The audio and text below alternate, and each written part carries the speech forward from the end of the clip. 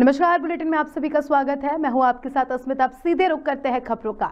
खबर राजधानी भोपाल से है, जहाँ आईपीएस सर्विस मीट में शामिल हुए सीएम शिवराज का बड़ा बयान सामने आया है। सीएम शिवराज ने कहा कि मध्य प्रदेश पुलिस पर प्रदेश के साथ साथ देश को भी गर्व है।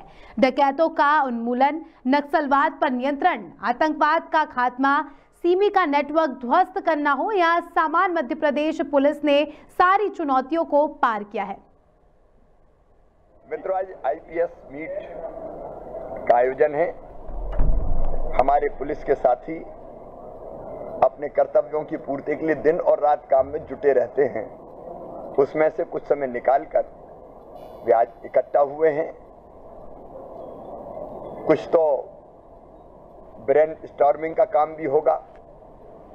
लेकिन मध्य प्रदेश पुलिस पर हमको गर्व है और देश भी गर्व करता है। अनेक उपलब्धियाँ मध्य प्रदेश पुलिस के खाते में हैं। चाहे डकैतों का उन्मूलन हो, आतंकवाद का खात्मा हो, नक्सलवाद पर नियंत्रण हो, सिमी के नेटवर्क को ध्वस्त करना हो, अनेकों चुनौतियों का मुकाबला किया है।